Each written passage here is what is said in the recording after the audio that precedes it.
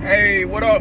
Hey, so check it out. I just left CVS, and oftentimes when I go in there, I hear people complaining about um, why are y'all sending me notifications that my prescriptions are ready, and when I get there, it ain't. Right?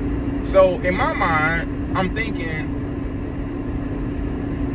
CVS either they don't know about the failed system and process that they have in place, or they don't care about the failed system or process they have in place.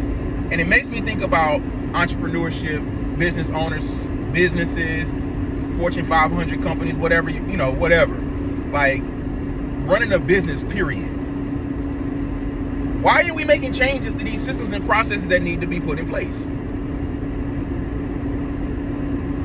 Like it don't take a lot of time for somebody. It's somebody's job at CVS to ensure that the communi- the line of communication is on point. Meaning, they developed an app that is tied to your cell phone, tied to your phone number or email address to say that when a prescription comes in, it's automatically attached to your your, your profile and when we fill it, we do X, Y, and Z.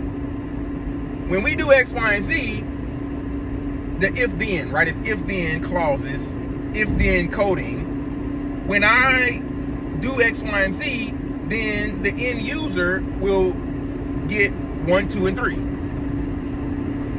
But somewhere along the line, the communi- the gap in the, the communication is being dropped, and nobody is shining any light on it. I got a super problem with stuff like that.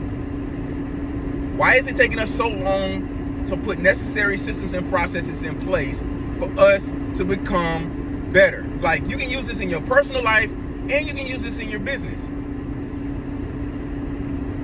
Furthermore, why are we sitting at the damn register having a full-blown fucking conversation about nothing that has to do with medicine pharmacy, drugs, CVS, customers, nothing.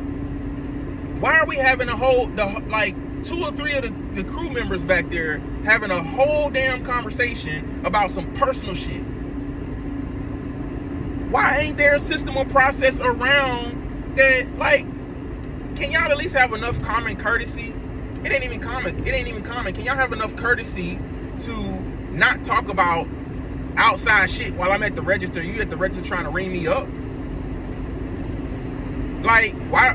What happens if you make me want to come back to CVS? What happens if you like, how was your day? How is your day? While you're waiting on your prescription to be filled, or while you're waiting for me to key the stuff in? Like, what happens when you engage with the person that's in front of you?